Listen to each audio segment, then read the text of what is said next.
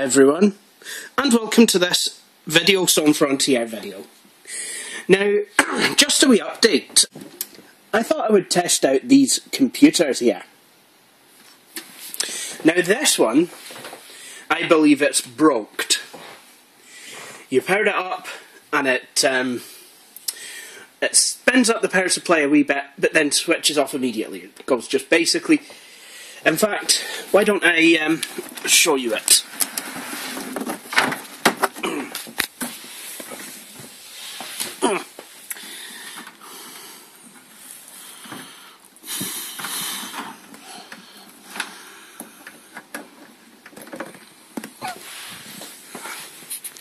This is a newer one of the two. Sounds like I'm revving up an engine. Now, I have tried pulling everything apart from the power supply out. Um, and the motherboard. Um, if I pull the uh, 12 volt rail connector, the power supply will uh, stay switched on I am going to try with a different power supply just to see what exactly it is that's broken. If it's a motherboard, I think I will save up and buy a generic Core 2 Duo motherboard.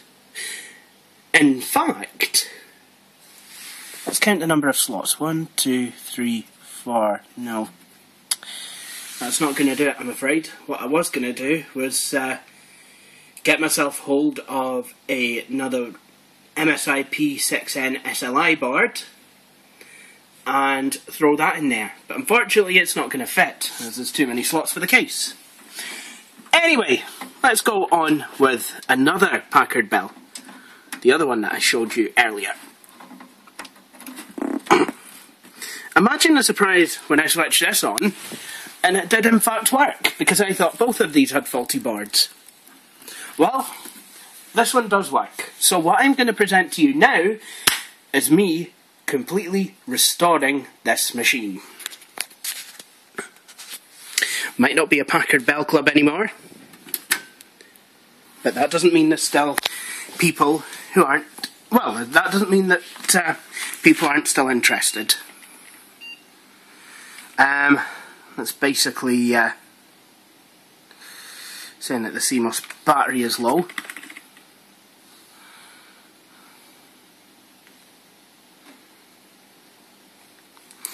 basically by hitting F12, what I've done is I've started the recovery program. So it's detected the USB mouse straight away. And what we're going to do is we're going to go to recovery programs and click next. I like how this just about looks exactly like the out of the box experience, except the buttons are a wee bit different. Now, I've got two different types of recovery non destructive or destructive. I usually prefer destructive because that is the one that definitely, no questions asked, restores your computer back. Well, apart maybe from that one. Now, it says installation type destructive recovery warning. All data will be deleted. Oh my goodness, no.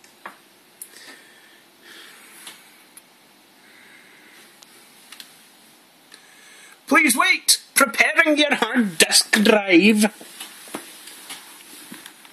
Oh, by the way, I have broken the seal on this one. Well, never mind. It was bound to happen. And now, now the recovery begins.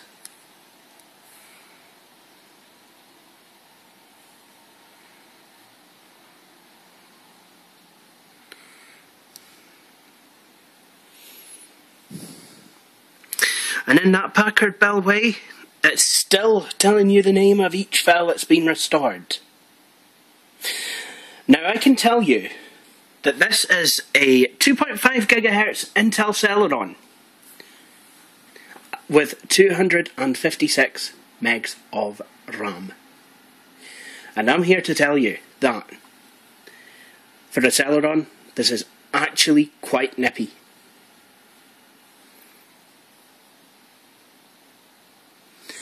Not entirely sure what it is, but I'm guessing it's a Northwood.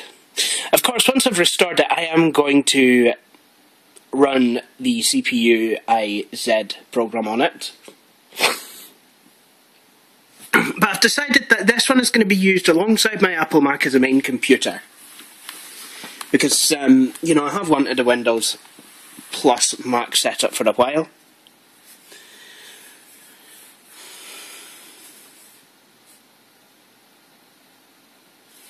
This one is going to the office, and I think the other one is going to come back here.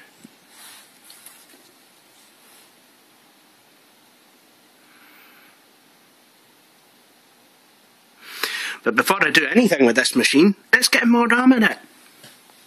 There is absolutely no way it's going to be able to run well with uh, 256 megs of RAM, so it gets a gig. And to be honest, I think that's very nice.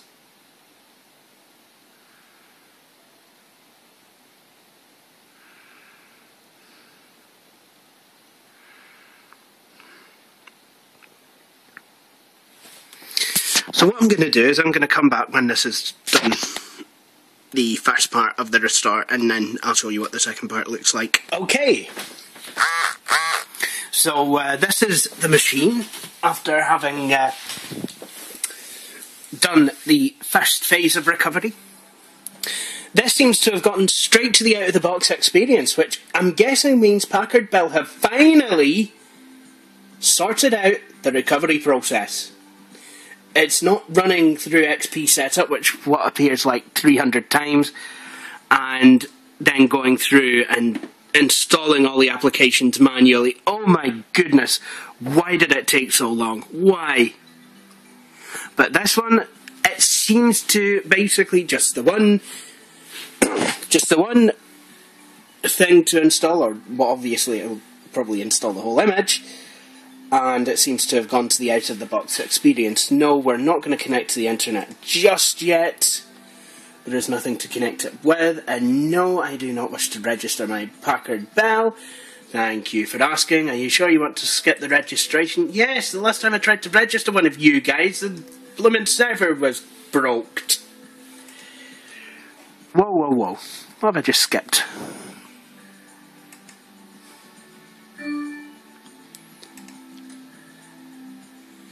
Oh yeah, that's right. I've skipped you once before, I can do it again.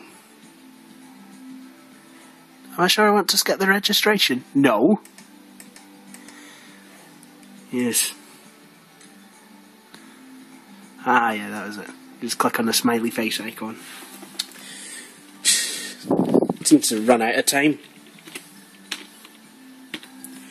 So I'll just register this to me.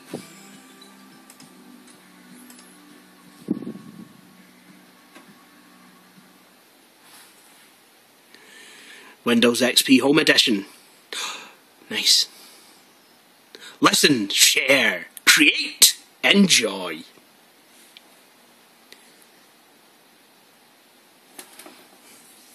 Must admit, it is a nice Packard Bell background, and I was given a manual for one of these, and I've thrown it away. J, J, J, J, J. I'm getting a Paint Shop Pro book at some point. In the same way that I'm supposed to be getting a Compaq uh, Presario 2240 at some point, but unfortunately, I can't get it up from England. So, yeah, that is quite annoying.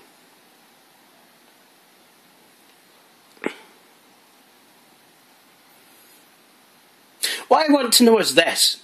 How can a 2.5 gigahertz Celeron with only 256 megabytes of RAM be so fast? Actually, I think I know the answer. The reason that a 2.5 gigahertz Celeron with only 256 megabytes of RAM is so fast is this.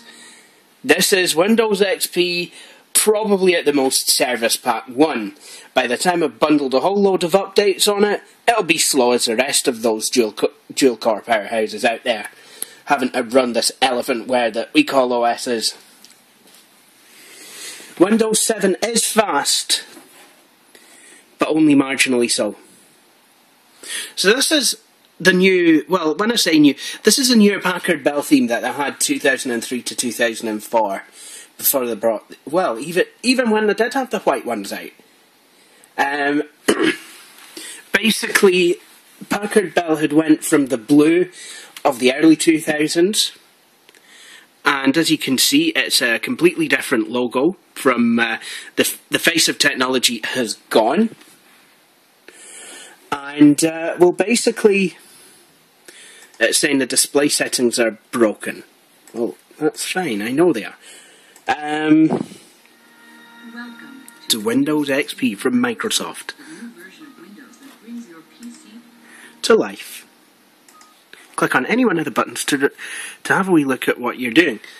You may also sign up with FreeServe, which is no more. So let's have a wee look.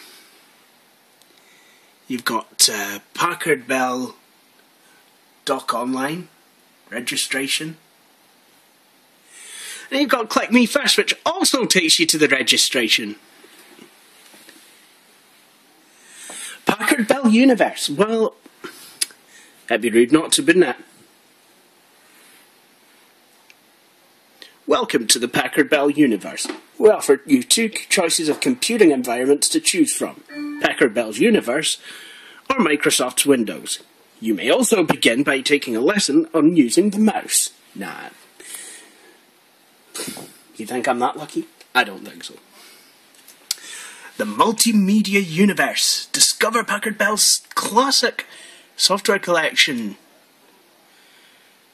Software edition, a specially designed software collection that has been included to enable you to get the most from your computer. And then we've got the online universe. So let's have a look at the multimedia universe. So we've got home entertainment,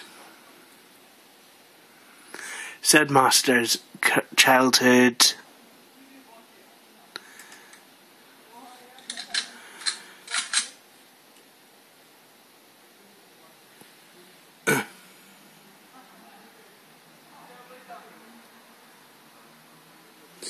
please install it from the software library DVD. I don't have any of that.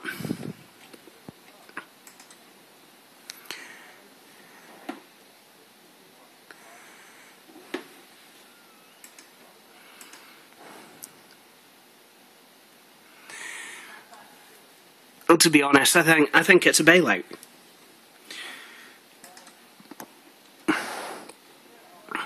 And here we have the GCSE Maths, English and Science collection. Now, what if this PC had been bought for someone as a congratulations, you passed your GCSE present? Think about that. And then they're looking for A-level software and there's none installed. Yikes. Go to Start, All Programs, Home Office, Microsoft Works 7.0. Uh, there's, is that like the categories? And Packard Bell have kind of always done that. So you've got accessories, games, which are Windows ones, admittedly, home entertainment, which is uh, Power Cinema, Power DVD, blah blah blah blah. Microsoft Works for home office, internet security, internet and security, my CD writer, online services, AOL powered by Packard Bell, really, or FreeServe. Um, Packard Bell EverSafe. So, Packard Bell EverSafe for Windows 95, 98, ME, NT for 2000, 2003 XP version 3. Oh goody, I'll put this on a disk and give it to my friend Billy Corfa when he gets his Legend 822 CDTW back. Or am I being unfair? Actually, yes, I believe I am being very unfair about this machine. It is actually really quite nice. Do you know what? I, I do like it. I know I joke a bit, but come on, Packard Bell Universe being a web page. I mean, I kind of like how they've given a description of what all the software is and what it does. And I am going to make good use of this machine. Failing that, it is going to become one of the machines that are sold to my customers, probably, you know, at a very small price. However, I do like it, you know, and these machines generally do tend to be quite well built. I worked for PC World, and I've had absolutely no problems with any of these Packard Bell machines while I was there.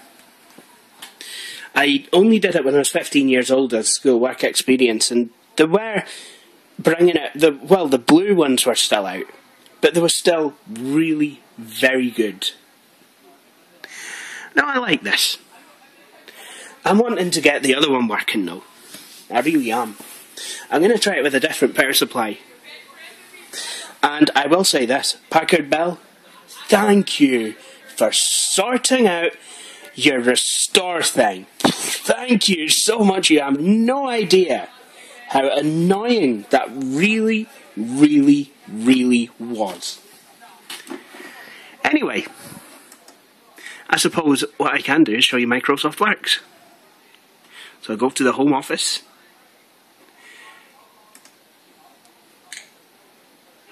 Ah, the Works portfolio. Who remembers that? I loved it.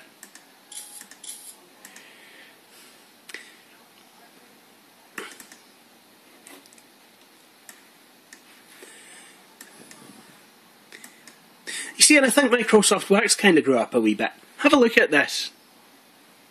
Looks familiar, doesn't it? That's because it looks like Microsoft Word. Okay, the colour um, chooser is a wee bit more kind of friendly, but you still get all the versatility. But tables, that was always something I found difficult to do in Microsoft Works. Not too difficult, but I always found that there was more customization in Microsoft Word. However, I think they have cleaned up their act a, bit, a wee bit with it. Still though, I'd go for the big blue W every single time. Or if I was on Billy Corr's computer, I'd go for the big dark turquoise W.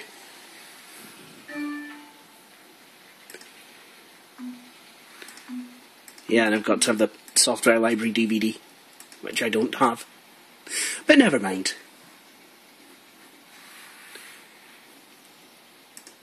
So I think what I'm going to do is shut this down